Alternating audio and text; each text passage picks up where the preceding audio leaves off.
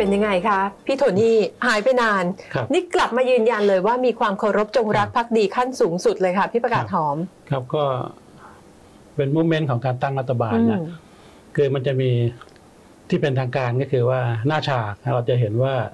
พรรคแกนนำค่ะที่เขาได้คะแนนสูงสุดนะก็จัดตั้งรัฐบาลอืมเข้าไป แต่อย่าลืมว่าการจัดตั้งระหว่างนี้เนี่ย การจัดตั้งรัฐบาลเนี่ยพรรคอื่นๆเขาก็ ดำเนินการอยู่เหมือนกันนะฮะแต่ว่าไม่เป็นข่าว เพราะว่าเขาไม่อยากให้เป็นข่าว ก็คือ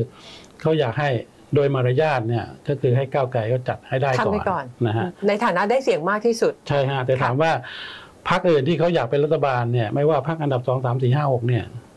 ก็คุยกันไหมเขาก็คุยกันอืมนะก็คุยกันลับๆเหมือนกันทุกครั้งค่ะการจัดตั้งรัฐบาลเป็นอย่างนี้มาตลอดนะก็คือว่ามันก็จะมีการจับกลุ่ม จับขั้วกันว่าอ่าถ้าอันนี้ทำไม่สำเร็จ ไอ้ขั้วเนี้ยที่เขาเตรียมขั้วไว้ที่สองเนี่ยจะเป็นยังไงอะเขาจะขึ้นมาอืมนะฮะนี่มัน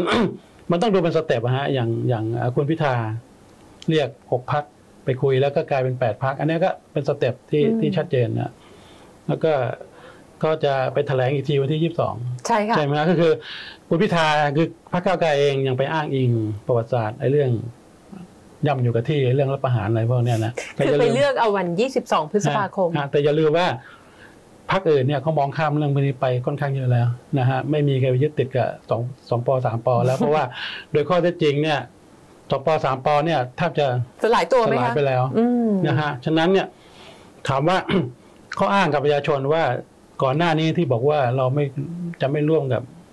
ลุสงองลุปงอสามปอลุงอืมลุงเนี่ยเงื่อนไขมันเปลี่ยน ก็กลายเป็นว่า หลังจากเนี้ยไม่มีลุงแล้วอย่างรวมไทยสร้างชาตินี่ก็น่าชัดเจนก็คือว่าไม่มีลุงแล้วก็คือ เขาก็คงปรับกันภายในว่าจะจัดการยังไง เพื่อแต่ภาพมันยังเป็นลุงอยู่หรือไม่คะพี่ประกาศหอม คือในทางการเมืองเนี่ย พอค่ะพอพอคุณตั้งรัฐบาลเนี่ยอืมคุณต้องหาเหตุผลให้ได้อืมให้ให้ประชาชนเข้าใจ อันเนี้ยคือประเด็นให้สามารถำคัมาญรุมกันได้ ใช่อืมมันมันจะมีเหตุผลร้อยแปดพันเก้าประการค่ะที่จะอ้างนะฮะอ่า มันมีหลายพักตอนเนี้ยเท่าที่ทราบเนี่ยก็คือว่าเขาสลายขั้วลุงไปแล้วแต่ก้าวไกลเนี่ยรู้สึกว่าจะยังเป็นพักเดียวที่ยัง ยึดติดพักลุงอยู่แล้วเพราะก็เขาประกาศชัดเจนมีอ่ามีมีลุงไม่มีเราใช่ฮะคือตอนเนี้ยอ่าก้าวไกลเนี่ย ติดกับดักตัวเองไม่ว่าหันไปทางไหนก็อืมติดกับดักตัวเองทั้งนั้นเลยลายกับดักเลยนะคะเพราะว่าทั้งเรื่องเพราะว่าลุงทั้งเรื่องหนึ่งหนึ่งสองนะเพราะว่าอ่าระยะตลอดเวลาที่ผ่านมาเนี่ยเขาก็สร้างเงื่อนไขอะไรไว้มากมายค่ะนะฮะโดยที่ว่าอ่าอย่างที่เขามีการพูดจากันว่าก้าวไกลเล่นการเมืองไม่มีมิตรนะฉะนั้นเนี่ย เวลาจัดตั้งรัฐบาลเนี่ยสิ่งที่จำเป็นอย่างยิ่งทางการเมือง เราจะเห็นว่าในในอดีตเนี่ยมีคุณชวนอ่ามีเสนันค่ะอย่างสมัยทักษิณมีทักษิณมีสนออืมถามว่า วิธีการจัดตั้งรัฐบาลก็ตั้งกันยังไง หัวหน้าพักก็ไปคุณก็ไปหน้าฉากเลขาพักก็เลี้ยวเดินไปอีเกกมทางไปอืมนะฮะแต่ถามว่าก้าวไกลวันนี้เนี่ย ไปทางเดียว ฮะคือคือเหมือนกับม้าออกจากซองว่าคุณไปทางเดียวคุณไปทางอื่นไม่ได้ เพราะว่าคุณไม่ได้สร้างฐานอืมสำหรับตัวเองไว้เพื่อไปผูกอ่ามิตรไมตรีกับพรรคอื่น ฉะนั้นเนี่ยเราจะเห็นว่าในโซเชียลเนี่ยพูดถึงก้าวไกลเยอะมากว่าอ่าเมื่อเมื่อเมื่อวานเนี่ยคุณไปปาก้อนหินใส่เขาใช่ไหมฮะอืมวันนี้คุณบอกว่าคุณจะไปขอดอกไม้จากเขาอะไรเงี้ยอืมซึ่งซึ่งมันค่อนข้างยากนะฮะที่พี่หมายถึงก็คือสวอ่าค่อนข้างยากที่จะที่จะที่จะไปไป ไปขอความร่วมมือจากฝ่ายอื่นแม้กระทั่งค่ะจากพรรคการเมืองด้วยกันอืมพรรคการเมืองที่กำลังร่วมรัฐบาลอยู่ขณะเนี้ยค่ะบางพรรคเนี่ยถามว่าเขาช่วยก้าวไกลจริงจังหรือเปล่า ผมมองว่าไม่ได้จริงจัง เพราะว่าเลขาธิการพรรคเขาเลี้ยวไปแล้วไม่ใช่เลขาธิการพรรคด้วยซ้ำไปทางครอบครัวอะไรของเขาเนี่ยเขาเลี้ยวไปอีกทางแล้วนะฮะอืมอันเนี้ยคือการจัดตั้งรัฐบาล เราจะไปมองว่าอ๋อคุณพิธาตั้งได้แน่นอนแล้วจริงๆไม่ใช่ อาจจะใช่ก็ได้ แต่ว่าไม่ใช่ร้อยเปอร์เซ็นต์ค่ะว่าจะตั้งรัฐบาลได้ เพราะว่ามันยังมีอีกหลายสเต็ปนะฮะ คุณรวมสสได้สองร้อยห้าสิบเอ็ดเสียงโอเค เสียงข้างมากของสภาผู้แทนใช่ไหมแต่คุณต้องไปหา ให้เป็นเสียงข้างมากของรัฐสภาอีกสามร้อยเจ็ดสิบหกใช่ไหมมันยังไม่พอตรงมัเนี้ยยังไม่พอฮะพอไม่พอปั๊บเนี่ย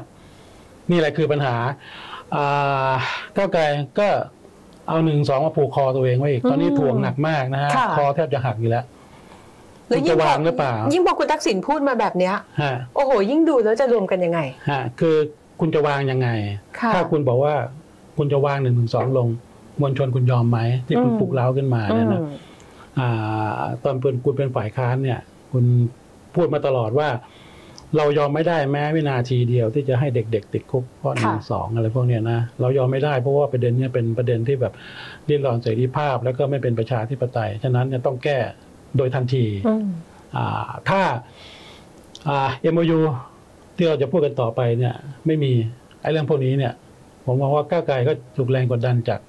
มวลชนอีแฟกนเขายกเว้นว่ามวลชนบอกว่าไม่เป็นไรหนึ่งสองเอาไว้ก่อนก็ได้ขอให้เป็นรัฐบาลก่อนอันนั้นก็ค่ะอันนั้นก็พอไปได้นะฮะค่ะแต่มันก็ไปติดที่สวอีกว่าส่วนใหญ่เนี่ยเขาไม่เห็นด้วยกับคุกับมาตราหนึ่งหนึ่งสองเนี่ยที่เป็นเพราะว่าปรายละมเอียดอืมคือคือต้องไปดูว่าอ่า ถ้าคุณบอกว่าไม่แก้ แล้วคุณจะแก้เมื่อไหร่อืมนะฮะอันเนี้ยมันเป็นเทคนิคหลังจากนี้แล้วว่าแม้กระทั่งพรรคร่วมรัฐบาลด้วยกันเนี่ยที่กำลังอยู่หน้าฉากตอนเนี้ยค่ะที่เขามีเงื่อนไขอะไรมากมายเนี่ย มันจะไปกันยังไงกันหนึ่งหนึ่งสองอืมคือหนึ่งสองนี่กลายเป็นประเด็นหลักอืมที่จะทำให้ใช่พิสูจน์ได้ว่าอ่าคุณพิธาสามารถเป็นนายกได้หรือเปล่า หนึ่งหนึ่งสองครับเป็นประเด็นหลักอย่างที่พี่ประกาศหอมว่าจริงๆอะนะคะ เพราะว่าพักที่ได้คะแนนอันดับ 3 อย่างภูมิใจไทย มีครับแถลงการแบบชัดเจนเลยว่าครับจะไม่ร่วมรัฐบาลกับพักที่ไม่มีแนวทางเทิดทุนสถาบันครับคืออันอันนี้ก็คือสรุปโดยย่อโดยความของแถลงการภูมิใจไทย ซึ่งพูดก็พูดถ้าได้เสียงจากภูมิใจไทยไปเนี่ยฮะคือปิดประตูละครับไม่ต้องไปง้องอนสวใช่ฮะคือมันล็อกไปแล้วฮะอืม ด้วยความที่ก้าวไกลเนี่ยเขาล็อกตัวเองจากอืมเขายังล็อกตัวเองจากสองปออยู่ค่ะเขายังนั่นอยู่สองปออยู่ เพราะว่าก็ยังไปแถลงยี่สิบสองพฤษภาก็ยังไปแถลงวันสัญลักษณ์อะไรอยู่อืมก็ยังติดตรงนี้อยู่ภูมิใจไทยเขาปฏิเสธคุณแน่นอนแล้วว่าถ้าค่ะคุณยังดื้อดึงไปแบบเนี้ยไม่มีทางฉะนั้นเนี่ยอ่าประเด็นที่ว่าการที่จะดึงสสให้ครบ สามร้อยเจ็ดสิบคนเนี่ยปิดฉากไปแล้วเป็นไปไม่ได้เลยอืมมีทางเดียวที่คุณพิธาจะเป็นนายกได้ คือไปล็อบบี้สวถามค่ะว่าล็อบบี้ได้ไหม ก็มีโอกาส พี่ประกาศหอมตรงนี้นิดหนึ่งคือดิฉันสงสัยท่าทีคุณพิธาเนี่ยมั่นใจมาก แม้กระทั่งวันที่แถลงเมื่อสัปดาห์ที่แล้ว ก็ยังมั่นใจบอกว่าครับมั่นใจในเสียง หมายความว่าเขามีการพูดคุยกับสวแล้วมั่นใจถึงขนาดนั้นเลยเหรอคะเพราะมันขาดอีกตั้งหลายสิบเสียงนะคะพี่ ใช่ฮะมคือถามว่าสวเนี่ย จะเลือกคุณพิธามีไหมมีนะฮะ แต่ถามว่าจำนวนมากพอไหมหกสิบเสียงเนี่ยผมยังมองว่ามันเป็นเรื่องยาก เท่าที่ดูนี้ตอนนี้ประมาณสิบกว่าเสียงฮะแต่ถามว่าถ้ามีบางพรรคการเมืองช่วยเหลือเนี่ย จริง ๆ จังๆเลยนะค่ะ ออกแรงอย่างจริงจังเลยสุดฤทธิ์เลยทำได้ไหมผมว่าได้พักอะไรจะช่วยได้คะพี่ฮะ ต้องไปถามพรรคอันดับสองว่าคุณพร้อมที่จะช่วยคุณพิธาแบบสุดฤทอ่าธิ์หรือเปพูดล่าถึงเรื่องนี้วันนั้นคุณหมอชนน่านพูดเหมือนกันครับว่าเราก็พร้อมที่จะช่วยเจรจาครักับสวสสไม่ใช่ว่ามาร่วมและโยนให้เป็นหน้าที่แกนนำคนเดียว แต่ว่าครับเอาจริง ๆ แล้วทำหรือเปล่าอันนี้ไม่แน่ใจฮะอืมคือการเมืองเนี่ยอ่ามันโหดร้ายนะฮะถึงเวลาคือแทงหลังกันเลยก็มีนะอันเนี้ยค่ะแทงหลังกันโดยที่ว่าประชาชนไม่รู้ตัว รู้สึกว่า เขาแทงกันแล้ว ยังไงปะชาชคะนม่พี่รู้เรื่องขยายความหน่อยเพราะว่าวันนั้นเนี่ยวันที่เขามีการเอ่อจับมือกันที่ร้านเชมิลินมีการชูไม้ชูมือกันดิฉันเห็นหลาย ๆ คนกูรูการเมืองบอกว่า จับมือเนี่ยแต่ว่าข้างหลังซ่อนมีดเอาไว้ฮะคือสูตรรัฐตั้งรัฐบาลเนี่ยอืมแน่ชัดแล้วก็เหลือแค่สองสูตรแล้วไม่มีสูตรอื่นแล้วสูตรแรกก็ตามที่ว่าก็คือว่าคุณพิธาเป็นนายก ดึงพรรคอื่นไม่ได้แล้วคุณต้องไปขอเสียงสวอย่างเดียวเลยนะฮะอ่ากับอีกสูตรหนึ่งเพื่อไทยมารวมกับภูมิใจไทย แล้วก็พลังประชารัฐก็ตั้งรัฐบาลได้อืมถามว่าเสียงน้อยกว่าด้วยนะทำไมตั้งได้ เพราะว่าเขาสามารถหาแนวร่วมจากสวได้ เป็นกอบเป็นกรรมอันเนี้ยเป็นอืมเป็นมันมีนัยยะบางอย่างที่เราเห็นว่า อ่า จริง ๆ แล้วเพื่อไทยช่วยก้าวไกลจริงหรือเปล่าอืมนะคือพอถึงวันที่โหวตเนี่ย เพื่อไทยเขาก็พยายามแสดงบทแบบนี้เลยฮะว่าเขายังยืนอยู่กับพรรคคุณพิธาค่ะแล้วในวันโหวตเนี่ยเขาก็โหวตให้คุณพิธาด้วยอืมแต่แต่ถ้าเสียงสวไม่ไม่ถึงทำยังไงเสียงสวไม่ถึง ไม่ใช่ความผิดเขานี่จบแต่ว่าคุณพิธาจะดึงดันต่อได้ไหมตอนนั้นน่ะเขาโหวตไปแล้วก็ไม่เอา มันเป็นหน้าที่ของพรรคอันดับลงมาแล้วในการค่ะจัดตั้งรัฐบาลอืมนะฮะอะถามว่าถึงเวลานั้นเนี่ยเพื่อไทยจะเอาก้าวไกลมาเป็นพรรคร่วมรัฐบาลหรือเปล่า อันนี้ผมไม่ทราบอืม แต่แน่นอนผมมองว่าเขาจับมือกับภูมิใจไทยแน่อืมคือมันอยู่สองสูตรนี่แหละ มันไม่ได้หนีไปไหนมาก นะสูตรก็คือว่าเพื่อไทยเป็นแกนนำกับก้าวไกลเป็นแกนนำค่ะนะฮะคือก้าวไกลเนี่ยด้วยความที่ส่วนใหญ่เป็นคนรุ่นใหม่นะฮะบางทีความเชี่ยวชาญทางการเมืองเนี่ยยังอืมยัง